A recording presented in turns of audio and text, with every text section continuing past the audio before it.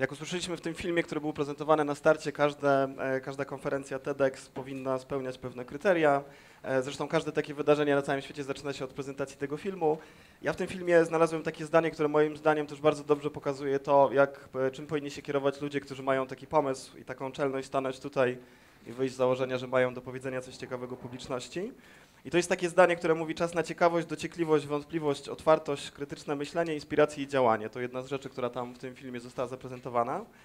Ja sobie pomyślałem, że spróbuję jakby z tych zdań i z, tego, z tych poszczególnych sformułowań uczynić pewną kanwę tego, co będę chciał powiedzieć, e, czyli przyjąć pewną logikę jakby postępowania dokładnie zgodnie z zapisem wynikającym z tego zdania. E, Ja będę chciał postawić taką tezę, że żyjemy w takich czasach, które charakteryzują się pewną kulturową epidemią rozwoju. To znaczy, e, żyjemy w takich czasach, w którym rozwój stał się jakby wartością samą w sobie. Nawet jak siedziałem i patrzyłem na ten napis, to te słowo rośni kończy się wykrzyknikiem, co jest pewnym imperatywem pewnym wezwaniem do rozwoju. Ja mam takie poczucie, że będę chciał do tego wykrzyknika dostawić znak zapytania, tak żeby w zakresie rozwoju spróbować zadać sobie parę pytań dotyczących tego, jakby w jakim miejscu jesteśmy i skąd i dlaczego tak się stało.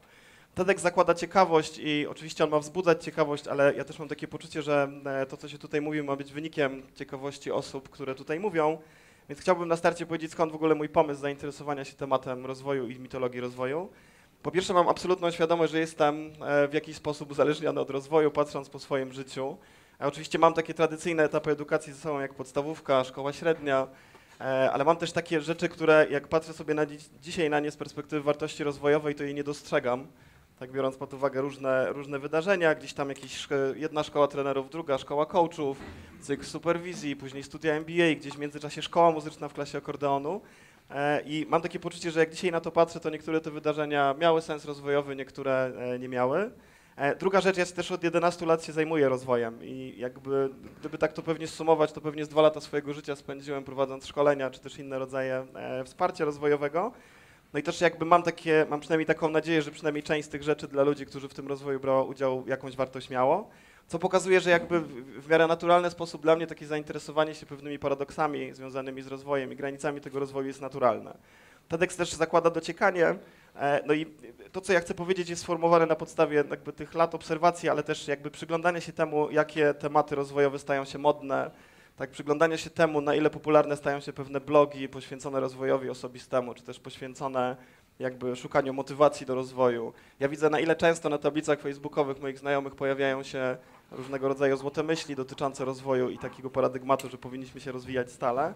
Wreszcie też widzę, jakie tematy stają się modne i co pojawia się na rynku. To znaczy, na ile rzeczy, które mają mieć charakter rozwojowy, gdzieś tam nie spełniają takiego podstawowego kryterium rozwijania w takim, w takim rozumieniu. No i oczywiście to dociekanie absolutnie prowadzi do wątpliwości i ja mam takie poczucie, że w obszarze rozwoju wątpliwości znaleźć stosunkowo łatwo, na przykład przyglądając się temu, co generalnie jest oferowane, jeśli chodzi o rozwój. I moim zdaniem to nie jest znak naszych czasów, to znaczy to nie jest tak, że my żyjemy w jakimś szczególnym okresie, w którym jakby bzdur rozwojowych i takich miałkich koncepcji pojawia się więcej niż kiedyś. E, Ja zacznę od zdania, które Jung powiedział w 1933 roku, że postępujący upadek zinstytucjonalizowanej religii zaowocuje ogromnym zalewem pseudonaukowej papki. I mam poczucie, że późniejsze czasy pokazały, że to zdanie gdzieś tam się sprawdziło. E, Myślę sobie, że to oczywiście w każdym etapie dziejów dałoby się znaleźć. Ja, ja bardzo lubię te rzeczy, które pojawiały się w latach 60. i 70. Tak, czyli takie pomysły na przykład wiercenia sobie dziury w głowie po to, żeby osiągnąć wyższy stan świadomości. Ja do dzisiaj zapraszam na taką stronę, która nazywa się trepan.com, która jest poświęcona trepanacji. Autorzy tej strony twierdzą, znaczy na razie mają taką pozycję, że starają się budować dobry PR wokół trepanacji, jeszcze nie mają jakiejś zachęty do tego i nie sprzedają takich usług. E, no, wszystko to, co działo się w latach 60., gdzieś tam wynikające z zachłyśnięcia się wschodem, tak, jakimiś takimi koncepcjami new, new age'owymi, jakaś psychologia osiągnięć szczytowych i tak dalej, można by takie, takie przykłady mnożyć. Co ciekawe, jak się popatrzy na twórców różnych takich metod, które e, zakładały przekraczanie pewnych granic e, swojej osobowości, to da się znaleźć w, w większości przypadków taki wspólny mianownik i ten mianownik to jest używanie na pewnym etapie rozwoju substancji psychoaktywnych, ze szczególnym uwzględnieniem LSD. Tak? To takie czasy, w którym on to jakoś pomagało w rozwoju, nawet wykorzystywane było w terapii, co ciekawe. E, natomiast jak się patrzy na czasy dzisiejsze, to ja, ja chciałbym się jakby trzema rzeczami podzielić. Po pierwsze mam takie po, poczucie, że my czasami w rozwoju poruszamy się w obszarze wiadomości w miejsce wiedzy.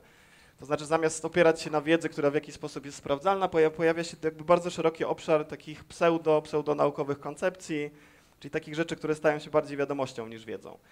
Jak sprzedaje się szkolenia, to tam pojawia się mnóstwo takich określeń dotyczących tego, że one są neuro coś tam, tak, że one są związane z lingwistyką, czy z jakimiś takimi pojęciami, które gdzieś tam w rozwoju są osadzone i nie, nie do końca sprawdzone naukowo. E, I że coraz więcej jest takich koncepcji w rozwoju, które gdyby na nie spokojnie popatrzeć, to one nie spełniają takich kryteriów rzetelności, obiektywności naukowej. E, Mam takie dwie, dwie ulubione rzeczy, którymi lubię się dzielić w zakresie rozwoju. Mo- Może być tak, że Państwo zdają sobie sprawę z istnienia takich produktów rozwojowych, być może nie. E, Pierwsze to, to jest stajnia i chciałbym opowiedzieć o wykorzystywaniu koni w rozwoju. Także to, co stało się popularne w, e, w ostatnich latach, to e, takie pomysły robienia szkoleń menedżerskich z wykorzystaniem konia. Tak i teraz ten koń nie jest jakby po to, żeby niż przebieg zajęć, to znaczy, żeby ludzie wyszli z sali szkoleniowej i pojeździli konno, tylko ja posłużę się cytatem ze strony internetowej. Najważniejszym aspektem pracy warsztatowej jest przyjęcie fundamentalnej zasady, że koń jest trenerem i od niego się uczymy. To już nie jest taka sytuacja atrakcyjniania zajęć, tylko trochę się twierdzi, że ten koń jest pewną wartością rozwojową sam w sobie i w zasadzie człowiek jest tylko facylitatorem tego procesu uczenia, e, którego dokonuje koń. I wiecie Państwo, przy jakby odpowiedniej dozie e, dobrej woli da się znaleźć w tym wartość rozwojową. Bo teraz jeśli logika ćwiczenia polega na tym, podejdź do konia, no i podchodzę. No i teraz jakby po, po tym ćwiczeniu facylitator pyta mnie, co czułeś? I ja mówię strach. I, i, I co potem? No i się przełamałem. No i jak to odniesiesz do twojego życia zawodowego? No w pracy mam tak samo. Tak? To tylko pokazuje, że to się da zrobić, tylko pytanie, jaką to ma wartość. Druga rzecz, która już jakby mniej budzi moje zdziwienie, a bardziej złość taką ludzką, to coś, co pojawiło się w ostatnich miesiącach, e, czyli coaching płodności. Nie wiem, czy Państwo zdają sobie sprawę z takiego produktu. I to, co jest moim zdaniem absolutnie chamskie, to komunikowanie tego na stronach internetowych tekstami zwiększ swoją szansę na dziecko. Czyli jeśli Państwo znają metodologię pracy coachingowej, to ona z grubsza polega na zadawaniu pytań odkrywających jakieś pokłady świadomości klienta. Czyli wprost e, jest takie założenie, że jak zadam Ci odpowiednie pytania, to będziesz bardziej płodny, tak, w założeniu. Co też jest trudne do obrona, już jakby widać, że to wyraźnie żeruje gdzieś tam na jakichś potrzebach już nie rozwojowych, ale innych potrzebach ludzi. Okej, e, TEDx też zakłada otwartość i dla mnie ta otwartość oznacza, że trzeba by się też zastanowić, skąd się to wzięło. To znaczy nie tylko psioczyć na to, jak jest, ale spróbować znaleźć może nie winnych, ale jakieś uzasadnienia tego, e, tego stanu rzeczy. Ja mam kilka koncepcji, przynajmniej takich roboczych, mam nadzieję, że nie wszystkie okażą się banalne. E, Pierwsza z nich jest taka, że tak mniej więcej od połowy XX wieku my, e, generalnie ludzkość jako gatunek przestała głodować i żyć od pierwszego do pierwszego. Oczywiście to nie znaczy, że problem głodu został rozwiązany na świecie, ale generalnie jakby coraz więcej czasu mieliśmy na zajmowanie się jakimiś pozytywnymi aspektami życia, a nie tylko na takiej walce, walce o przetrwanie. Druga rzecz to jest to, że pojawia się w połowie XX wieku e, psychologia humanistyczna. Wcześniej mieliśmy behawioryzm, mieliśmy podejście psychoanalityczne. Po, pojawia się psychologia humanistyczna, która jakby centralnym założeniem czyni człowieka i taką naturalną zdolność człowieka jako jednostki zdrowej do rozwoju. I to powoduje jakby mnogość tych wszystkich idei, które wtedy się pojawiają związanych z rozwojem osobistym. E, Kolejna rzecz to tutaj symbol kompasu. Ja mam takie poczucie, że Zachód mocno zachłysnął się wschodem. To znaczy, że to, co się stało i to, co dzisiaj uzasadnia taką potrzebę ciągłego doskonalenia, to takie jakby przetransponowanie do myślenia zachodniego pewnych wschodnich idei dotyczących na przykład idei rozwoju człowieka. Ja kiedyś usłyszałem takie zdanie, że nawet gdybyśmy popatrzyli religijnie, to jeśli jest się w kręgu kultury chrześcijańskiej, to zbawienie jest stosunkowo prostą rzeczą. Że wystarczy trzymać się paru zasad i to zbawienie jest gdzieś jakby wynikiem trzymania się tych zasad, tak? Natomiast kiedy popatrzymy na religię, na niektóre systemy filozoficzne wschodnie, to tam jest taki imperatyw ciągłego doskonalenia się i stawania się jakby coraz lepszą osobą. I taki ostatni, najświeższy przyczynek moim zdaniem to jest końcówka XX wieku i pojawienie się w psychologii e, czegoś, co nazywa się psychologią pozytywną. Czyli taką psychologią, która już nie zajmuje się tylko de- deficytami, e, jakimiś tam zaburzeniami, tylko zajmuje się czynieniem ludzi szczęśliwymi. To znaczy ma takie założenie, że nie tylko bada, dlaczego ludzie są szczęśliwi, ale jeszcze ma taki pomysł, żeby e, e, sprawiać, żeby ludzie byli coraz bardziej szczęśliwi. No i teraz na gruncie tej psychologii jednym z podstawowych założeń jest to, że rozwój jest jedną z miar szczęścia. To znaczy, jeśli chcielibyśmy przeanalizować, co powoduje, że ludzie są szczęśliwi, to rozwój też się tam pojawia jako pewien parametr. I żeby nie wylać dziecka z kąpielą, to ja bym chciał pokazać, że ta psychologia pozytywna ma ogromny sens. Jakby popatrzeć na ostatnie 20 lat XX wieku, to chciałbym Państwu pokazać statystykę, czym zajmowała się psychologia. To jest taka analiza wszystkich tekstów w poważnych pismach psychologicznych, które powstały. 54 tysiące teksty na temat depresji. E, 41 tysięcy tekstów na temat lęku, 1710 na temat szczęścia e, i 415 na temat radości. To trochę pokazuje, że takie przesunięcie od e, obszaru deficytów do obszaru pracy na, na budowaniu naszego szczęścia gdzieś tam jest nam potrzebne. E, No i okej, otwartość otwartością, ale też e, to, co trzeba uruchomić, to krytyczne myślenie. TEDx do tego zachęca. E, No i ja już trochę powiedziałem o wątpliwych metodach, które są stosowane, a teraz bym chciał to spróbować zgeneralizować do kilku takich obserwacji dotyczących rozwoju i tego, co jak gdzieś tam nazywałem sobie mitologią rozwoju. Po pierwsze, żyjemy trochę w takim środowisku, w którym uznaje się, że rozwój jest nieskończony. To znaczy, że człowiek jest w stanie praktycznie swoje kompetencje rozwijać do takiego poziomu, który nigdy się nie kończy, e, że jak popatrzymy sobie na rozwój kompetencji w kontekście organizacyjnym, to pojawi się takie samo założenie, że jesteśmy w stanie się, się rozwijać i gdzieś tam ten rozwój mnie jako osobowości, zobaczcie na ile nośne są takie teksty, każdego dnia musisz być lepszą wersją siebie, kto się nie rozwija, ten się cofa i tak dalej. I ja mam takie poczucie, że niezależnie na jaki grunt e, nauk społecznych byśmy się nie przenieśli, to tam wszędzie jednak się uznaje, że rozwój ma pewne granice. W ekonomii, nawet w ekonomii, gdzie gdzieś tam w takim neoklasycznym podejściu rozwój jest pewnym paradygmatem, pojawiają się takie teorie, które mówią o granicach rozwoju i o tym, że kiedyś dojdziemy do takiego miejsca, w którym nie będzie możliwe na przykład przyrastanie dobrobytu. Nawet jak popatrzy się na teorię zarządzania w takich najbardziej jakby rozwojowych kierunkach, czyli na przykład w takiej teorii ciągłego doskonalenia, no to tam też pojawiają się takie głosy, że to się nie da optymalizować czegoś w nieskończoność, tylko kiedyś trafimy na pewną, pewną granicę. E, Druga rzecz to, e, ja, ja mam takie poczucie, że rozwój stał się celem samym sobie. To znaczy, sam fakt rozwijania się jest postrzegany, jest utożsamiany z rozwojem. To, że czytam książkę na temat rozwoju jest jednoznaczne z tym, że się rozwijam. To, że biorę, biorę udział w wydarzeniach, które mają charakter rozwojowy, w konferencjach rozwojowych, jest jakby takim surogatem tego, że ja rzeczywiście dokonuję pewnego rozwoju. Mnie się to mocno kojarzy z czasami studenckimi. Ja tak miałem na studiach i to może tłumaczyć, dlaczego nie skończyłem wszystkich kierunków, które, które zaczynałem, ale ja pamiętam takie poczucie, kiedy człowiek skserował materiały, to czuł się przygotowany do egzaminu.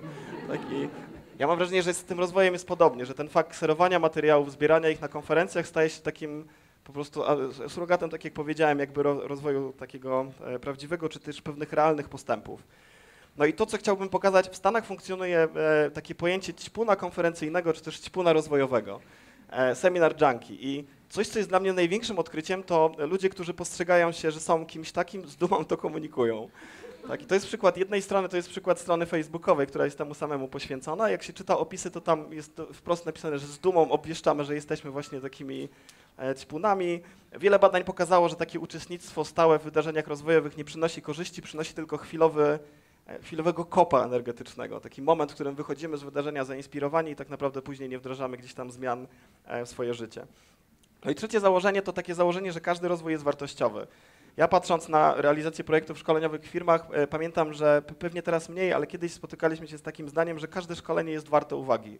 To znaczy, nie- nie- niezależnie czy ten temat jest jakoś trafiony do potrzeb uczestników, to to ma jakąś wartość. Znaczy, samo to, że człowiek bierze udział e, w tym rozwoju, staje się pewną wartością, co oznacza, że w zasadzie tylko ja subiektywnie mogę oceniać, czy dane wydarzenie rozwojowe miało dla mnie wartość, czy nie. E, No i teraz znowu, nawet jak się popatrzy na e, podejście do rozwoju w kontekście kompetencji w organizacji, to co ciekawe, coraz częściej pojawiają się takie głosy, że jest możliwe, że ktoś ma jakąś kompetencję rozwiniętą w sposób przesadny.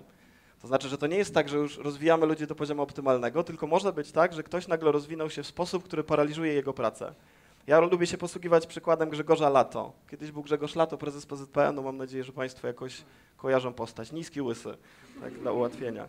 I gdyby wziąć pod uwagę Grzegorza Lato i spróbować opisać mu taką kompetencję jak odporność na krytykę, to to pokazuje, co to znaczy mieć kompetencję rozwiniętą na poziomie przesadnym, że to już jest taki poziom rozwinięcia się w jakimś zakresie, który paraliżuje normalne funkcjonowanie. E, A to się generalnie wpisuje w to, że, że można by powiedzieć, że ten każdy rozwój jest wartościowy. E, TEDx się powinien też kończyć inspiracjami i jakby no, to, co ja chciałbym zrobić, to spróbować podać Państwu kilka pomysłów patrzenia na swój własny rozwój, na rozwój ludzi naokoło, tak żeby spróbować wyciągnąć z tego pewną wartość użyteczną, e, czyli wprost sformułować kilka zaleceń dotyczących rozwoju osobistego. I moje pierwsze zalecenie będzie wymagało wytłumaczenia, bo one brzmi nie ufaj kubistom. I teraz na, na czym to polega? Ja kiedyś od Sławka Jamroża, czyli taką osobę, którą darzę dużym szacunkiem w zakresie uczenia innych trenerów pracy trenerskiej, e, usłyszałem taką metaforę, że jeśli masz do namalowania katedrę, to możesz wziąć do namalowania tej katedry, nie wiem, malarza, który będzie realistą, impresjonistę i kubistę. I każdy z nich w jakiś sposób namaluje tą katedrę. Tylko jak będziesz ją musiał później wybudować, to kubista nic ci nie da.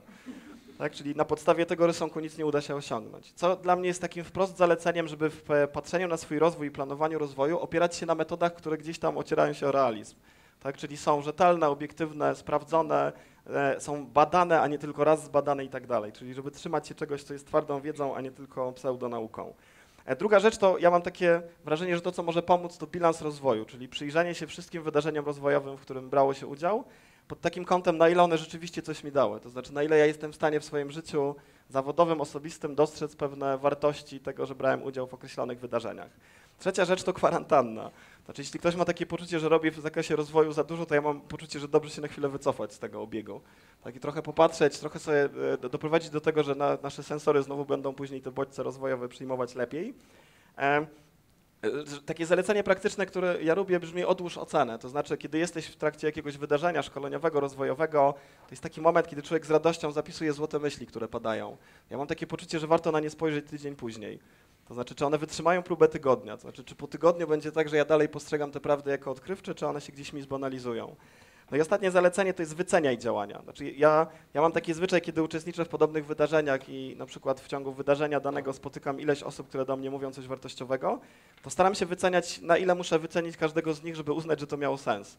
To jest taka metoda najbardziej ekonomiczna. Ja to spróbuję podać na przykładzie, gdyby wziąć pod uwagę tego TEDxa, ilość prelegentów i cenę biletów, to jeśli to, co ja teraz powiedziałem, miało wartość złoty 60, to wszystko jest ok. Tak, to, to z tego punktu widzenia udało się spełnić ten punkt, jakby wyceniaj, e, wyceniaj działania.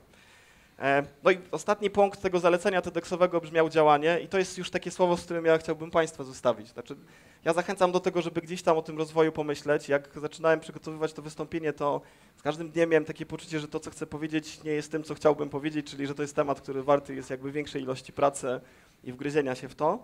E, I to, co chcę powiedzieć na koniec, to ja nie próbuję powiedzieć, że rozwój jest zły i że rozwój jest niepotrzebny, ale z całą odpowiedzialnością chcę powiedzieć, że może taki być. Dziękuję.